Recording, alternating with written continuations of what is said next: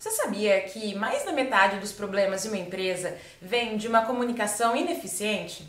Pois é, nós somos diferentes e para conseguir se comunicar bem com os outros, antes de mais nada, a gente precisa se conhecer, conhecer o nosso perfil de comunicação e o perfil das pessoas com que a gente se relaciona, para conseguir adaptar a mensagem e a maneira de se comunicar.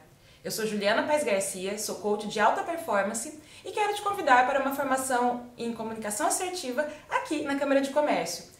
Nessa formação eu vou te ensinar como identificar o seu perfil de comunicação, o perfil das pessoas com que você se relaciona, como adaptar a sua mensagem, evitar qualquer problema, qualquer ruído de comunicação e também dar feedback de maneira eficiente e efetiva, para que realmente gere mudança de comportamento, sem qualquer tipo de conflito ou ruído nos relacionamentos. Eu te espero aqui.